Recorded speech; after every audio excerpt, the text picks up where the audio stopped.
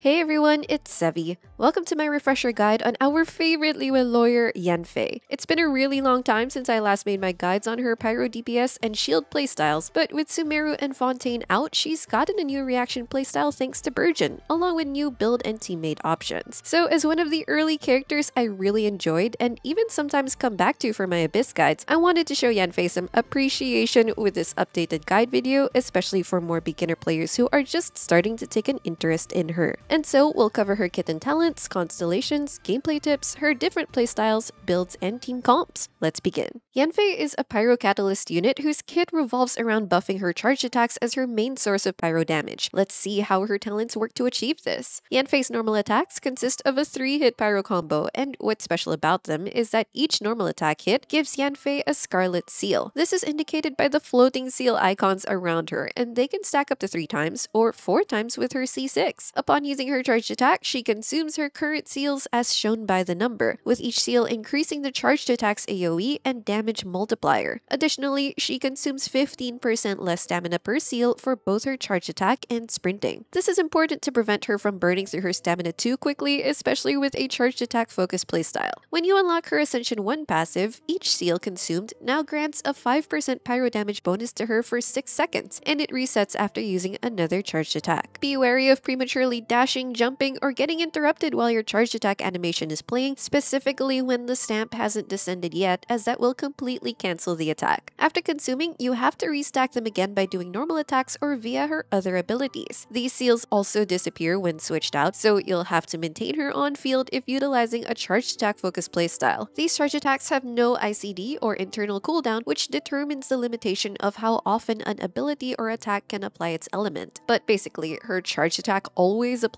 pyro, meaning that each hit can trigger a reaction when applied to the relevant aura. That's why Yanfei's charge attacks are often used to enable reaction-based playstyles, Reverse Vaporize being the common choice, which is applying pyro on Hydro. Though take note that her charge attacks count as blunt damage, so if used against a frozen enemy, it will typically proc Shatter instead of Melt or Vaporize, which is detrimental to her damage. There are some cases that can make Yanfei melt or vape without shattering, or melt or vape and shatter, but those are difficult to consistently set up and usually are unsustainable. After unlocking Yanfei's Ascension 4 passive, this makes her deal an additional instance of pyro damage whenever her charged attack deals a crit hit. This attack also has no ICD, so it's possible to trigger consecutive reactions with it, but it also means she's applying pyro even faster, which can be detrimental in teams where you want to better control her pyro application. To help supplement her charged attack focus kit, we have her skill and burst. Casting Yanfei's skill deals AoE pyro damage to an enemy target, generates 3 pyro particles, and also instantly grants Yanfei the maximum number of seals. After casting her skill, your fully powered charged attack is ready to be used ASAP.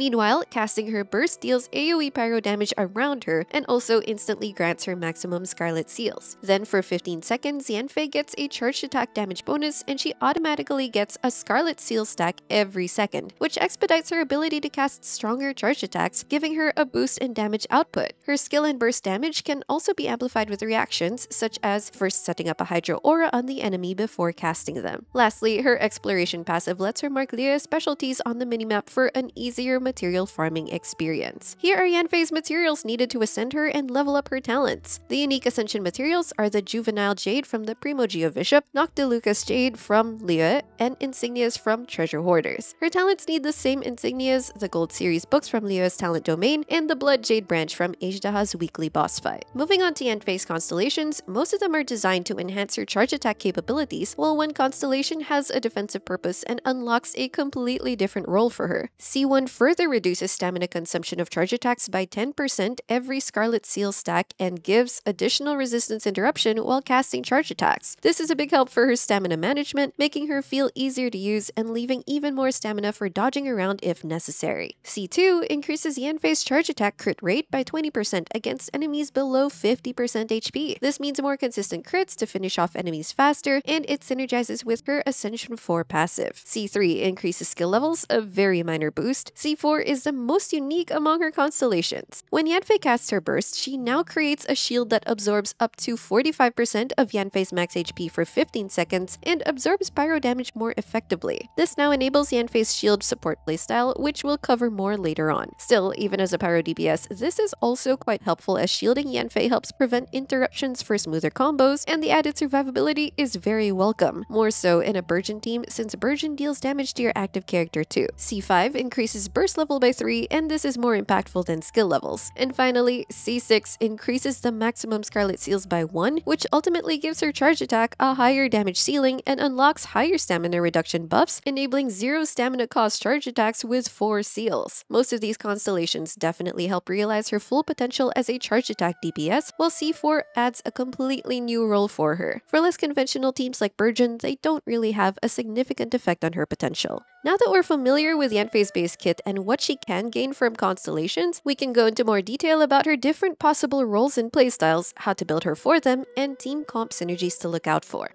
The first and traditional role is as a Pyro DPS, which focuses on charged attacks and Pyro damage. As such, you'll want to prioritize leveling her normal attack talent, which is the majority of her damage, followed by her burst, and lastly her skill. This playstyle often uses the Vaporize reaction to amplify her Pyro damage, but other reactions are also possible, like Melt as a more niche alternative, or Overload to supplement with extra AoE damage. Or she can simply use Pyro damage without reactions in a mono Pyro team. While she's generally not at par with the potential of other limited 5-star Pyro DPSs, her performance is nevertheless still respectable in these teams with a straightforward gameplay loop. With her build, it's pretty much how most Pyro DPS units go. Attack or EM Sands are both good in a reaction team, but it should only be attack in a mono Pyro team since she doesn't trigger reactions there. You can balance it depending on how much she's getting from external buffs and substats. I recommend having at least 100 EM as a baseline, possibly going up to around 200 to 300 for higher end builds. For her Goblet, Pyro damage damage is generally what you want, but in specific cases where she's getting a lot of damage percent bonuses already, like with Furina on the team, attack can still be a good option. For her circlet, go for crit rate or crit damage depending on what you need for a good crit ratio. While the standard recommended ratio is as close to 1 is to 2, take note that her Ascension passive takes advantage of crit hits, so you can somewhat skew her build to have more crit rate, but of course not at the expense of sacrificing too much crit damage. Aiming for 70 to 80% crit rate in a complete build is generally recommended. For substats, you're looking for crit, attack, EM, and ER. Her energy recharge target will vary depending on your team and the enemy's particle generation, and if you want to burst every rotation or every other rotation. For an easier time building her, I just recommend aiming to burst every other rotation, which you can achieve by getting around 100 to 120% ER. If you want to burst every rotation, her ER requirement starts going higher, that's doable, but harder to achieve and will likely come at the expense of other offensive stats. For her artifact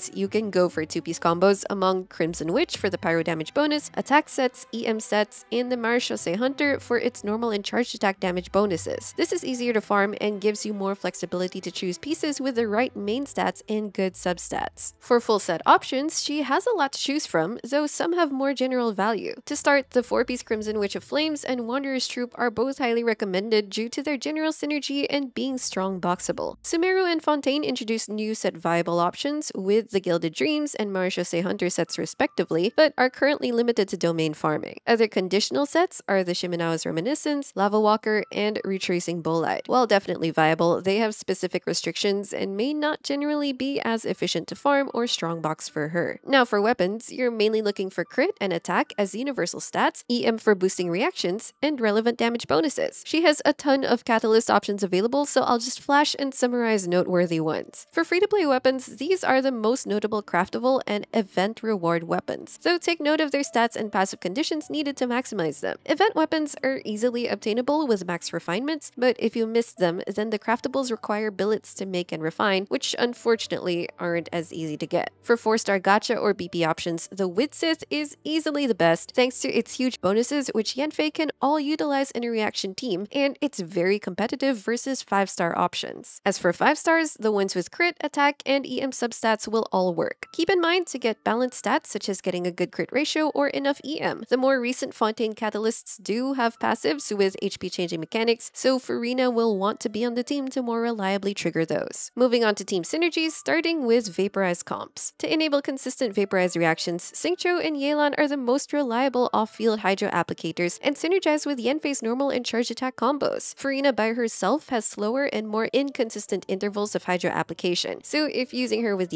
You'll generally want to pair her with Xingqiu or Yelan for more consistent results. Then Yanfei has different attack combos you can implement based on her teammate's Hydro application in order to maximize her Vaporize triggers. At the start of her field time, you want to first apply a Hydro Aura on the enemy so that her skill and or burst will vaporize. Then, when executing her normal and charge attack combos, you'll generally do either N2Cs or N3Cs. The main difference is that N2C's quick charge attacks mean it's best paired with fast Hydro application that can prevent Pyro Auras, while N3C is a bit slower in charge attacks but better ensures that there's a Hydro Aura on the enemy. You can check this in practice simply by observing if Yanfei's charge attacks are indeed triggering Vaporize consistently throughout her on-field time. Flex supports can be filled in by offensive buffers like Bennett or VV Anemo units, or defensive units like Zhongli or Dehya. Note though that if Yanfei is the only pyro unit on the team, like if you're going with a double hydro team, it can be difficult to swirl pyro and reduce enemies' pyro resistance. You'll still get good team damage if you swirl hydro instead, since that will increase the damage of your two hydro units, so at least it's not a total damage loss. If you add an off-field electro unit, that can turn this team into an overload vaporize or over vape team. Your hydro and electro unit can combine to trigger the electro-charged aura on the enemy, which allows hydro and electro auras to coexist. Yanfei can then apply pyro on that, which simultaneously triggers both vaporize and overload reactions. Instead of vaporize, you can also utilize forward melt reactions by applying cryo on the enemy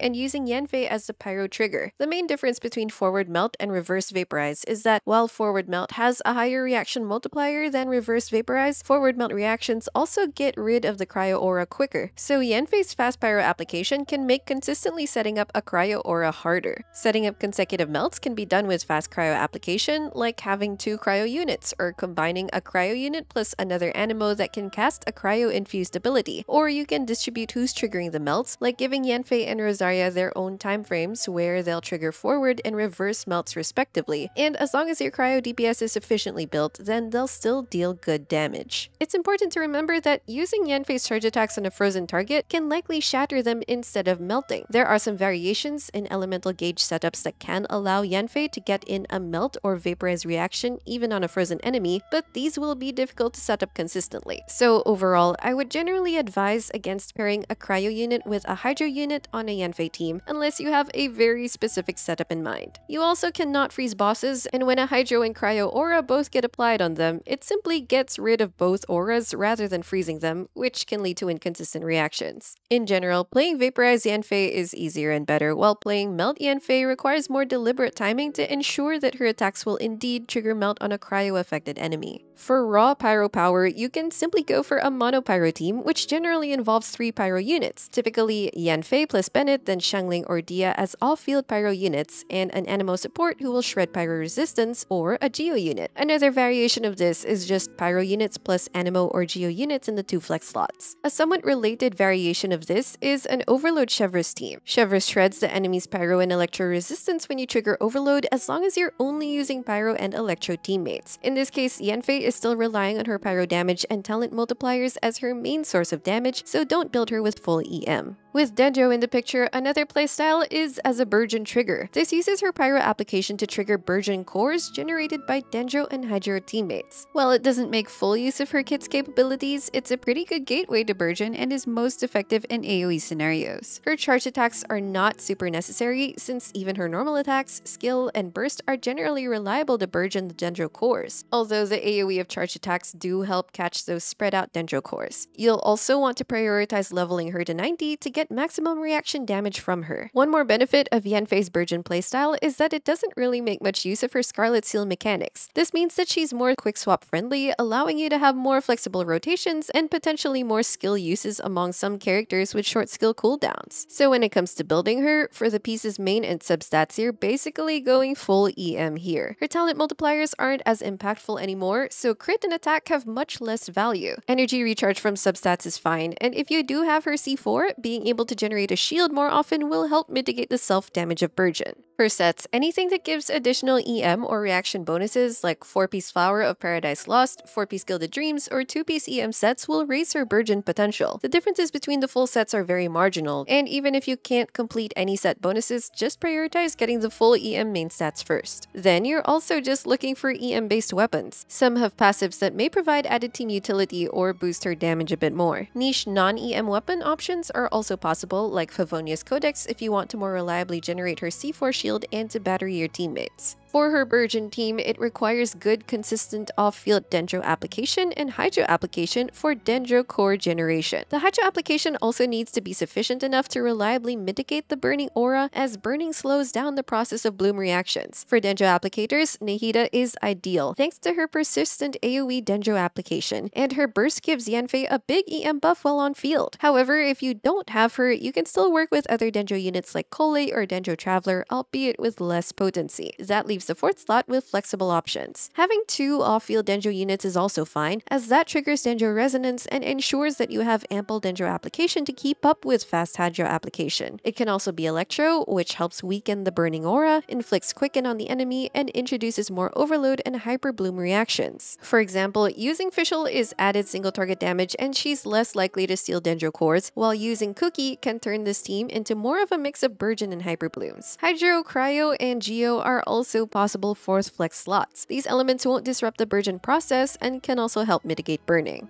Yanfei also has a more niche full EM overload team archetype that capitalizes on overload's damage and is most suited in AoE scenarios. The general premise also is that you have teammates which will apply a lot of electro for Yanfei to consistently trigger overloads. That requires fast enough electro application through two electro teammates, the best being combos of Fischl plus Beidou or Yae, and the flex slot is preferably Anemo or Chevreuse to be able to shred the enemy's resistance and provide other relevant buffs. Here, Yanfei also makes use of the previously discussed attack combos, and her build options mostly follow what Burgeon wants as well. I generally prefer her Burgeon teams over this, especially when you can combine it with an Electro for overloads and hyperblooms too, but just know that this full EM overload playstyle is indeed an option. Lastly, we have Yanfei's shield support playstyle after unlocking her C4. Yanfei's shield can be considerably good if you focus on building her HP. While there are other dedicated and generally better shields from other elements, her being a Pyro Shielder has its own specific benefits, such as unlocking Pyro Resonance for another Pyro DPS and helping set up Pyro Swirls. Thoma is her only direct competition for Pyro Shielding, and his kit's definitely more focused on shielding. However, some key differences are that her having no off-field Pyro application can be beneficial to prevent unwanted reactions, and whereas Thoma relies on normal attacks to strengthen his shield, Yanfei's shield has no requirements of any sort. As a drawback though, if Yanfei's shield breaks prematurely, the only way to regain it is by using her burst again, which can be quite inconvenient. For this playstyle, you don't have to focus on leveling her talent since the shield scaling comes purely from her C4, though raising her to level 90 will increase her potential max HP. For the build, she mainly wants a lot of HP to increase her shield health and enough energy recharge to ensure she can reliably burst to create her shield. Having around 200% ER is a generally safe goal, but that can go higher or lower depending on other factors. If you also build her with a Favonius Codex, which requires the user to do crit hits to activate its effect, then you'll want some crit rate as well, whether from her circlet or substats. For her sets, you can easily go for a two-piece combo of HP and ER sets to give her the stats she mainly wants. You can also do a double combo of HP sets, just ensure you reach her ER target. Alternatively, going for a four-piece Noblesse set lets her have additional support utility by giving a team-wide attack buff after using her burst. Four-star sets like Instructor and Exile also have added team utility effects, but their 4-star rarity means a lower stat ceiling. I should also mentioned to avoid the 2-piece retracing Bolide, since putting on shield strength bonus on her does not affect how the shield is on other teammates. You can check out my video explaining shield strength to see why that's the case. For her weapon options, there are only a few recommended ones, which are fortunately easy to obtain. An all-around option is the Prototype Amber, which is craftable. It gives HP, and after using her burst, it refunds a bit of her own energy, which helps her energy needs. And it even heals the entire team a bit, which is helpful if ever some enemy damage gets through. Alternatively, there's the Favonius Codex, which gives a lot of ER and lets her battery the entire team to help bring down her own and her teammates' ER targets. It just needs some crit rate to reliably trigger the particle generation effect. Last is the Thrilling Tales, which gives HP and gives a huge attack buff to the next teammate you switch into after the user. With this, just make sure your rotation makes the DPS switch after Yanfei to take advantage of its effect. However, you'll have to compensate with getting a lot of ER from her artifacts to burst reliably. When it comes to team comps, Yanfei's shielding is generally appreciated by any team or DPS that wants a shielder. And since her pyro application is very limited and non-existent once she's off field, there's no worry about her interrupting the main reactions of your team. Fellow pyro units that can highly appreciate Yanfei's shield utility more than usual are Hu Tao, Lyney, and Yoimiya. Yanfei's shield helps Hu Tao have more control over her HP and prevent unwanted interruptions, and timing Yanfei's pyro application can allow a VV-equipped Anemo unit to swirl pyro to boost Hu Tao's damage.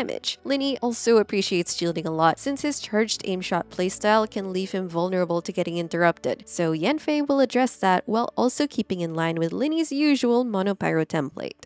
And that's it for this Yanfei guide. Considering her multiple playstyle options now, I'm interested to know in the comments how you like to build and play her. If this video helped you out, don't forget to leave a like, consider subscribing to my channel if you haven't already, and I will see you all soon.